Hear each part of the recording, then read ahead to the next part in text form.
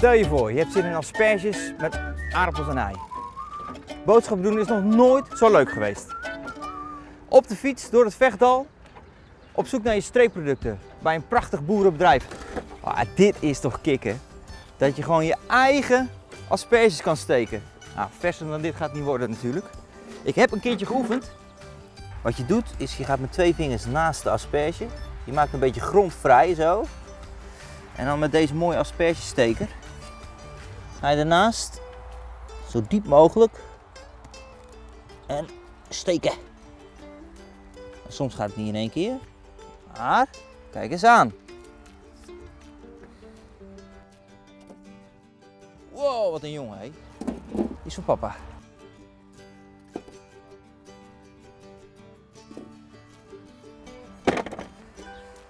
En ook rauw zijn ze heerlijk. Andy, bedankt! Ook de eieren kun je hier bij elkaar scharrelen. Bijvoorbeeld hier bij Vechtal eieren. Die kippen die lopen hier gewoon vrij rond.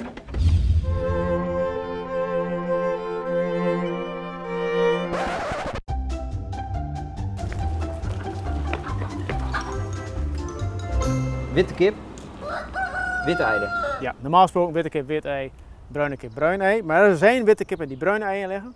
En wat kun je dan zien aan het oortje? Deze is sneeuwwit, dus deze Ja. legt witte eieren. Is hij getint, of uh, roze of eh, gekleurd, dan legt hij bruin ei. Wow, wat een hoop eieren zeg. Hoeveel eieren per dag? 24.000. Het worden er misschien nog 24.500 en dan zijn we echt aan de top. En hoeveel kippen heb je dan? 25.000. Dus als ik het goed begrijp, ongeveer één ei per kip. Ja, dat is maximaal. Dat is maximaal. Hey, en hoe kun je nou zien dat hij nou vers is? Dan moet je hem breken in de pan. Dit is een oud ei. Het eiwit is waterig en loopt weg. Dan breek jij de, eh, het verse ei van vandaag. En dan zie je, kijk het wit is veel boller. We hebben alle ingrediënten. Asperges, eieren, kip voor een prachtig recept wat natuurlijk terug te vinden is in het kookboek Feel Food. Deze gaat op de grill.